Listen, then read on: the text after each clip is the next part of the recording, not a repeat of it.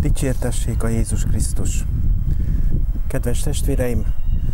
Sokszor, amikor a keresztény ember helyéről és szerep, szerepvállalásáról beszélünk a polgár és a vallásos élet szinterén, a Szentírásra hivatkozva Jézus szavait idézzük, aki a farizeusoknak megmondta, adjátok meg a császárnak, ami a császáré, Istennek pedig, ami az Istené. Ezzel azt akarta jelezni, hogy vannak olyan kötelességeink, amelyeket, amelyeknek evilági polgárokként kell eleget tennünk, és vannak olyanok, amelyek hitünk és vallásosságunk révén az örökkévaló ország eljövendő polgáraiként köteleznek bennünket. Még érthetőbben vannak olyan feladataink, amelyeknek a civil rend szerint kell eleget tennünk, és vannak olyanok is, amelyekre az isteni rend alapján kell válaszolnunk. Jézus tanításának értelmében nagyon fontos, hogy a kettő között meglegyen a szükséges egyensúly. Mégpedig úgy, hogy egy adott helyzetben sohasem mondjuk, hogy az egyik fontos, a másik pedig lényegtelen. Mert életünk minden pillanatában mindkét irány fontos a mi számunkra. Fontos a civil polgári felelősségvállalás tudatosítása és gyakorlása, amely keresztény hitünk fényében igen értékes lehet a társadalom építésében.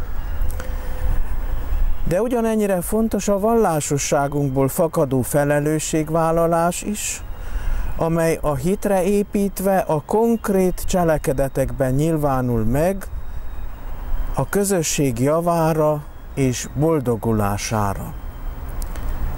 Talán úgy is mondhatjuk, komolyan kell vennünk evilági polgári minőségünket, hogy ezzel felkészüljünk az öröki valóságnak igazi polgáraivá lenni. Mindebből az következik, hogy a hívő embernek józan odafigyeléssel és felelősségvállalással kell követnie a világ dolgait, annak gondjait, kihívásait és lehetőségeit, hogy állapotához mérten és rendelkezésére álló eszközökkel hite és meggyőződése szerint szabadon járulhasson hozzá egy igazságosabb és jobb világ megteremtéséhez. A Szentírásban olyan jeleneteket is megismerhetünk Jézus életéből, amelyeken keresztül ő ezt a két irányt a gyakorlat élet megnyilvánulásaiban mutatja meg egy nagyon szép összhangban. A csodálatos kenyérszaporítás történetére gondolok itt, amelyben ott van a késztény, a helyzet elemzése és a konkrét állásfoglalás. Jézus látja a tömeget, átérzi annak helyzetét és állást foglal. Ti adjatok nekik enni, mondja apostolainak. A közösségi felelősségvállalás konkrét cselekedetében a lélek békének megteremtésére utal, amely jele annak, hogy a lélek rezdülése a közösségi feladatokkal szemben a helyi, helyes emberi magatartást alapozza meg a jóság, igazság és igazságosság szolgálatában mindenki javára.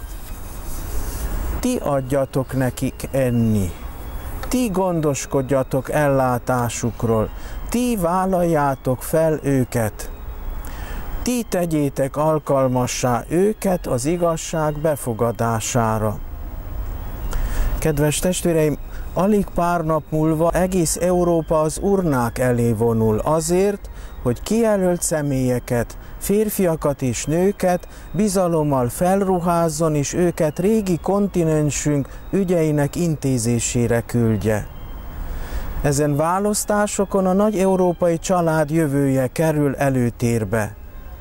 Ezt a jövőt, amelyet békességben és igazságban boldognak és szépnek akarunk, képviselőink gondoskodására ügyességére, nem utolsó sorban hitbéli meggyőződésére bízzuk.